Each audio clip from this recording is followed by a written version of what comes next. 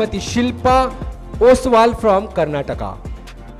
Shrimati Shilpa Oswal Oswal, Bharatiya Kala Ratna Puraskar for aspiring artist oh great Shilpa is an upcoming artist from Bengaluru she express her feelings through her art alongside international artist award भी उन्हें मिला है।